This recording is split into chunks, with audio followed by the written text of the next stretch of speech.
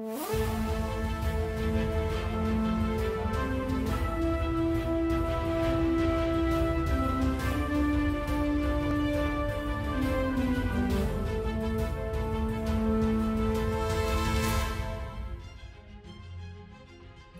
Hi நான் Naveen Shankar. Sound designer and sound mix இன்ஜினியராக past four இயர்ஸாக கோலிவுட் இண்டஸ்ட்ரியில் ஒர்க் பண்ணிட்டு இருக்கேன் music magic sound engineering and music production institute இங்கே தான் நான் என்னோட சவுண்ட் இன்ஜினியரிங் டூ தௌசண்ட் சிக்ஸ்டீனில் படித்தேன் என்னோட குரு மிஸ்டர் சத்யபிரசாத் சார் அவங்கள பற்றி சொல்லணும்னா மோர் தென் டூ டேக்கேட்ஸ் அந்த இண்டஸ்ட்ரியில் ரொம்ப சக்ஸஸ்ஃபுல்லாக இருக்காங்க.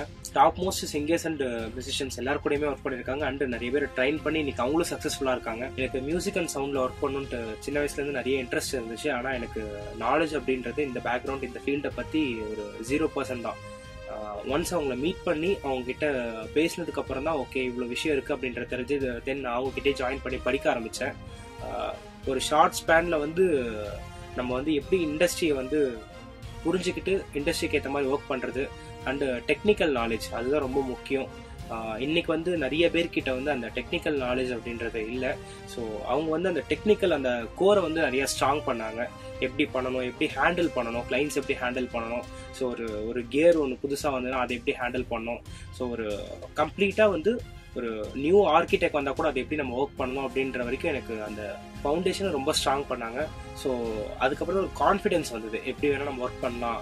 எவ்வளோ பெரிய ஆர்டிஸ்ட் வேணால் நம்மளால ஹேண்டில் பண்ண முடியும். அவங்களோட ஒர்க் பண்ண முடியும். அசோசியேட் ஆக முடியும் அப்படின்ற ஒரு கான்ஃபிடென்ஸ் வந்தது. எனக்கு சார் கிட்ட படிக்கும்போது ஒரு நாளும் கிளாஸ் மாதிரி ஃபீல் ஆனதில்லை. ஜஸ்ட் வந்து அது ஒரு ஒர்க்கிங் ஏம்பியன்ஸ் மாதிரி தான் இருக்கும் ஸோ டெய்லியுமே எப்படின்னா ரெக்கார்டிங்ஸ் போகும்.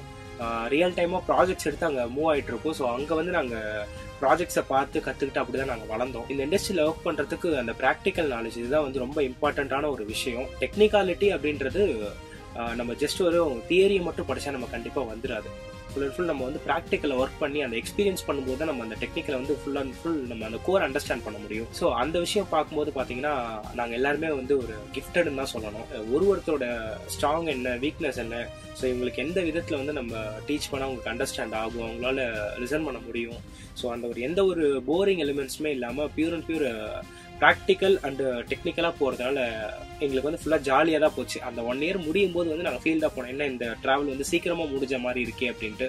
ஆனால் அவங்களுடைய சப்போர்ட் அப்படின்றது கண்டிப்பாக அந்த மாதிரி சீக்கிரமாக முடிஞ்ச மாதிரி என்றைக்குமே யாருக்கும் ஃபீல் ஆகாது. ஏன்னா அது வந்து ஒரு லைஃப் டைம் சப்போர்ட் அப்படின்ற மாதிரி தான் ஸோ நீங்கள் ஒரு பொருள் வாங்குறீங்க அப்படின்னா எல்லாத்துக்குமே ஒரு வாரண்டி பீரியட் ஒன்று இருக்கும். ஆனால் இங்கே வந்து அப்படி அந்த ஒரு விஷயம் இது வரைக்கும் ஃபீல் ஆனதில்லை. நேற்று நைட்டு வந்து எனக்கு ஒரு சின்ன ஒரு ஒரு டவுட் இருந்தது. சரி இந்த மாதிரி போகலாமா அப்படின்னு ஒரு சஜஷன் இருந்தது. கால் பண்ணி பேசினப்போ ஒரு கிளியர் ஐடியா இருந்தது. ஸோ அந்த லைஃப் டைம் சப்போர்ட்ன்றது தான் எல்லாருக்குமே ரொம்ப முக்கியமான இன்னைக்கு தேவைப்படுற ஒரு விஷயம். ஏன்னா லைஃப் டைம் ஃபுல்லாக நம்மளை கைட் பண்ண ஒரு ஆள் நமக்கு வேணும். ஸோ அது டெக்னிக்கலாகவும் இருக்கட்டும் இல்லை அது வந்து லைஃப் ஓரியன்டாகவும் இருக்கட்டும். ஸோ அப்படி பார்க்கும்போது நமக்கு ஒரு பயங்கரமான வெல்விஷராக எனக்கு இன்னை வரைக்கும் இருந்திருக்காரு. ஒர்க் ஸ்பேஸ் பொறுத்த வரைக்கும் ஹைலி எக்யூப்ட் அண்ட் அட்வான்ஸான ஒரு ஒரு ஃபெசிலிட்டி உள்ள இடம். அக்கஸ்டிக்கலாகவும் பயங்கர பர்ஃபெக்டாக இருக்கும்.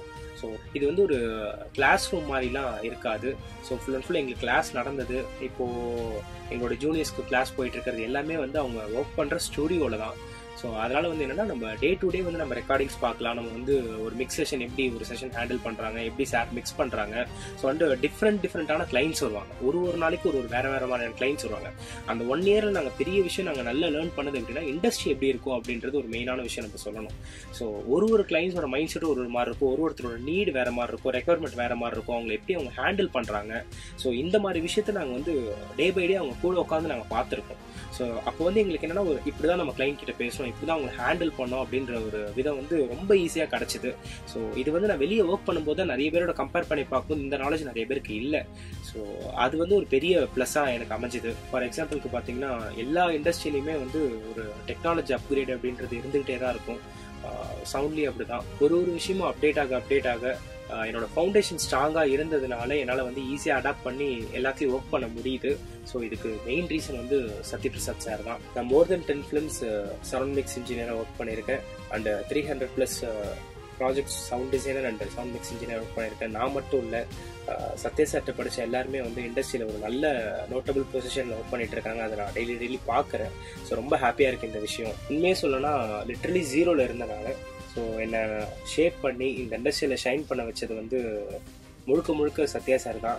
இதுக்கு நான் இந்த விஷயம் சொல்கிறதுக்கு நான் ரொம்ப கடமைப்பட்டிருக்கேன். எனக்கு கிடைச்ச பர்ஃபெக்ட் கைடன்ஸ் மாதிரி இன்னைக்கு எல்லாருக்குமே வந்து சவுண்ட் அண்ட் மியூசிக் இண்டஸ்ட்ரியில் கைடன்ஸ் அண்ட் நாலேஜ் தேவைப்படுது. ஸோ ஸோ அது எல்லாருக்குமே கிடைக்கணும். எல்லாருமே சக்ஸஸ்ஃபுல்லாக வரணும். தேங்க்யூ